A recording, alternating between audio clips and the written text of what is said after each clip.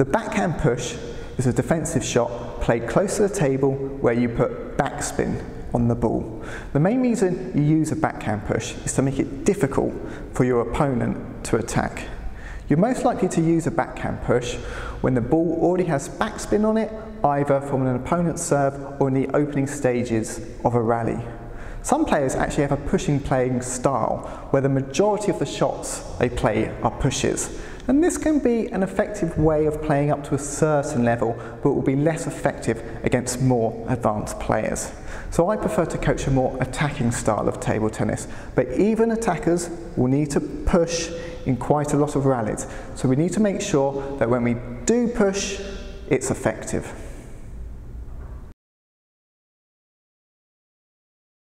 So let's take a look at the technique. Here I am doing a backhand push rally. First, the stance. Yes, it's the same as the other shots we have looked at so far. Legs nice and wide, knees bent, bum out, crouching forward with our left leg slightly further forward than our right leg.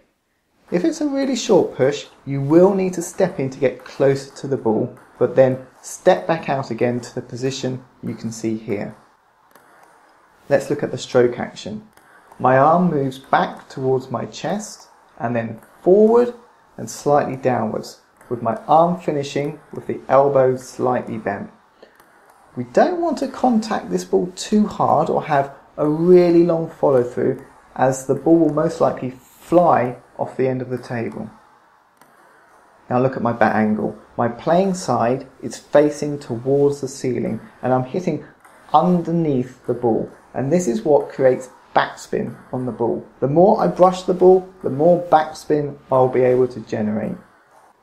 I'm playing this shot in front of my chest and this is always the aim for the backhand push as this increases the control we have over the ball and easily allows us to place the ball anywhere on the table. Your bat should finish in the direction you want the ball to go. To recap, when playing the backhand push, you need a low stance, you need to have your bat open with the playing surface facing upwards. Move your arm towards your chest and then forward and down, contacting underneath the ball. The more you brush it, the more backspin you will generate. You want to play the shot in front of your body, you want quite a short follow through with the bat finishing in the direction you want the ball to go.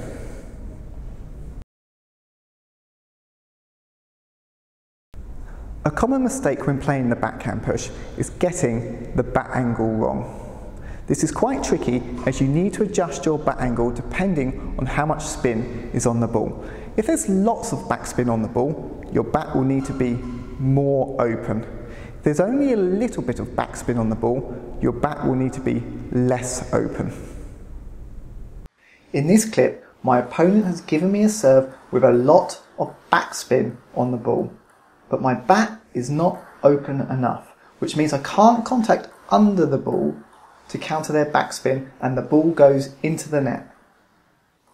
In this next clip, my opponent serves heavy backspin again, but I have adjusted my bat angle and now I can contact under the ball and this time it goes over the net.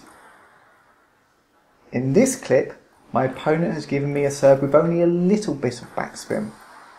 But this time my bat angle is too open and I end up popping the ball up in the air, giving my opponent an easy ball to attack. So with lighter backspin, your bat needs to be less open. And as you can see in this clip, my opponent serves light backspin again, but my bat angle is less open and the ball stays lower over the net.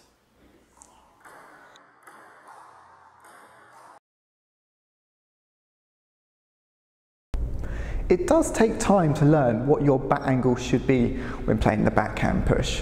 When you first start playing, it can be tricky working out how much spin is on the ball, but there are clues you can look out for. Your opponent's bat angle, the sound of the contact, the flight of the ball, but the best thing you can do is practice a lot and you'll soon start adjusting to the different levels of spin on the ball.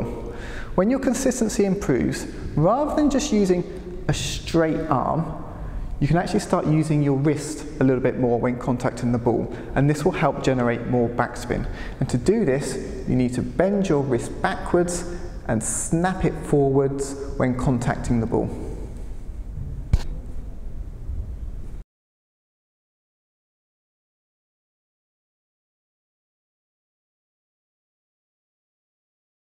In this training drill, we're playing a backhand push rally, but only on half a table. This is a good drill to do if your push shots keep going off the end of the table, or if you want to improve keeping your pushes really short. When you first learn this shot, it's very common to overhit, so playing on half a table will help you control the length of your stroke. Take a look at my arm movement. To keep the rally going, my stroke is really quite short, with a little brush underneath the ball. That's all I need to do. Once you've done this successfully for a couple of minutes, play backhand push to backhand push on the full table, but try to keep your pushes as short as possible.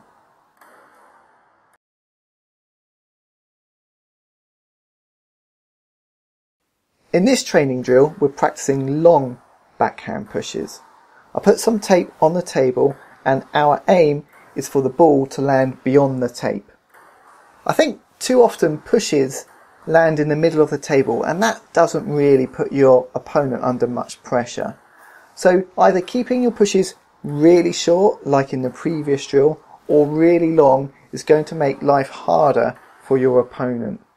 To get a longer push, my stroke length is just a little longer and I'm adding a bit more arm acceleration. To progress this drill, turn it into a game up to 11 if your push lands short or goes off the end, then you lose the point.